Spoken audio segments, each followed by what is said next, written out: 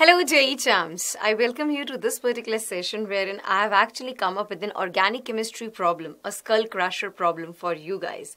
Let's actually dive into the problem and let's find out the solution for it now. The question over here is a compound X that contains only carbon, hydrogen, and oxygen is unreactive towards sodium. It does not add bromine. It does not react with Schiff's reagent on refluxing with an excess of HI, X yields only one organic product that is Y. On hydrolysis, Y yield a new compound Z which can be converted to Y by reaction with red phosphorus and iodine. The compound Z on oxidation with KMNO4 gives a carboxylic acid. The equivalent weight of this particular acid is 60 what are the compounds X, Y and Z? You need to write the chemical equations leading to the conversion of X to Y. So initially we'll be going line by line and solving this particular problem. The question over here says that a compound X that contains carbon, hydrogen and oxygen. Carbon, hydrogen and oxygen. Okay, there is a compound X which contains these three atoms and it is unreactive towards sodium. It's unreactive towards sodium. That means there is no reaction that is going to take place. Also, it does not add bromine. That means with bromine also, it's not going to show any reaction. That means it's not going to give the bromine test. Okay, we do bromine test for unsaturation, which means since it's not reacting with bromine, it does not contain any of the unsaturated thing, of course. It's not reacting with sodium, so we can say that it this particular X compound is neither acid nor alcohol. It's neither acid nor alcohol since it's not reacting with sodium basically. Is the thing clear? Yes, of course. Now talking about that it's, it actually do not react with Schiff's reagent. Schiff's reagent no reaction. If it's not showing any reaction with Schiff's reagent, which means that it do not have in the presence of aldehyde. Schiff's reagent is basically used to check for the presence of aldehyde in ketones. So we can say that this X compound, it can, it can't be an aldehyde or ketone. Okay, it will neither be the aldehyde, neither aldehyde neither aldehyde nor ketone. Okay, so what we are left with? Not acid, not alcohol, not aldehyde, not ketone. And it is containing carbon, hydrogen and oxygen. So we are left with only ether. It can be ether. Yes. Okay. Further, what's the question is saying? That on refluxing with an excess of HI, this X yields only one organic product to Y. Okay.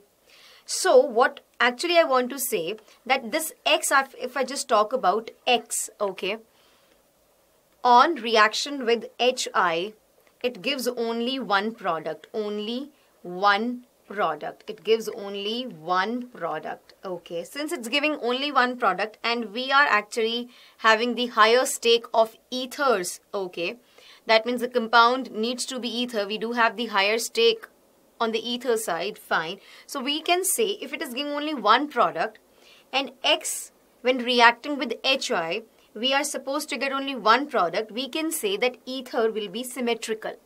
Okay, it must be, it must be symmetrical ether. It must be symmetrical ether. Fine, that's absolutely cool. Moreover, why? Because X on reaction with HI, it yields the product Y. So this is Y basically. Now this Y on hydrolysis, Y on hydrolysis gives us what? It gives us the product Z. It gives us the product Z. And this Z when reacts with iodine or you can say it's red phosphorus and iodine. Red phosphorus in the presence of iodine, we are supposed to get Y again. Now this Z when reacts with KMNO4, the compound Z in oxidation with KMNO4, it's a good oxidizing agent. Reaction with KMNO4 is supposed to give us what? It's supposed to give us a carboxylic acid. And the equivalent weight of this acid is 60. Okay, we are supposed to get carboxylic acid. We are supposed to get carboxylic acid when Z undergoes oxidation with KMnO4. And the equivalent weight given to us is equals to 60. Now, this carboxylic acid do have COOH group. Okay. If I just talk about the weight of this COOH group, weight of COOH group, it comes out to be, it comes out to be 12 plus 16 into 2 plus 1 which is equals to 45 grams. Okay, now the weight of COOH is 45. What are we then left with? So it can be, if I'm saying it's COOH, carboxylic acid functional group, and it is actually having the equivalent weight of 60. We do have the weight of COOH 45.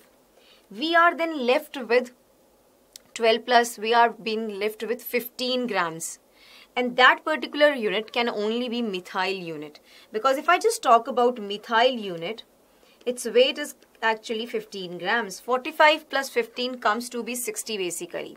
So it can have only so it can have only CH3 unit attached to COOH group. So this carboxylic acid for sure short will be CH3 COOH basically. Now this Z, this carboxylic acid is basically the product of oxidation of Z basically. Okay, that's absolutely right or not? Yeah, that's absolutely right. So, if we are getting CH3COOH, this is the oxidized product of Z, we can for sure say that that our Z can be, that our Z can be, Z can be CH3 CH2OH. Z can be CH3CH2OH. Can you just have a look? Because CH3CH2OH on oxidation with KMnO4 is supposed to give us acetic acid whose equivalent weight is 60. I hope this particular point is clear to you. Yes, ma'am, that's absolutely clear. So if Z is CH3CH2OH, then what will be Y then? Alcohol on reaction with red phosphorus in the presence of iodine undergoes substitution reaction to form to form what? To form ethyl iodide. This is ethyl alcohol. What we are supposed to form then? It will be ethyl iodide, CH3CH2I. So alcohol when reacts with red phosphorus in the presence of iodine, it undergoes substitution reaction and there will be the formation of ethyl iodide ethyl iodide. So Y is ethyl iodide, Z is ethanol. Okay. Then what is X then? Now if I just want to say only one particular thing, that X can be a symmetrical ether. Symmetrical ether on reaction with HI gives only one product and that is ethyl iodide. And if ethyl iodide is the one particular product we have obtained, okay, after the reaction of X with HI, now Rx will be an ether which will be CH3, CH2, O, CH2, CH3. Okay? Yes, Rx will be this. This is our X gonna be. Fine? Clear? So this diethyl ether on reaction with excess of HI is supposed to give us ethyl iodide. 2 moles of ethyl iodide C2H5I along with the formation of water. So our X is diethyl ether, our Y is ethyl iodide, our Z is ethanol, Ethanol undergoes oxidation with KMnO4 to give us acetic acid. This is how we have reached to our basic particular things to be known for this particular question, the compound X, Y and Z. So what is X? It's the diethyl ether. What is Y? It's the ethyl iodide. What is Z? It is ethanol basically and I've also written the chemical equations leading to the conversion of X to Y. Hope you have understood this particular question in a very nicer manner. Thank you so much.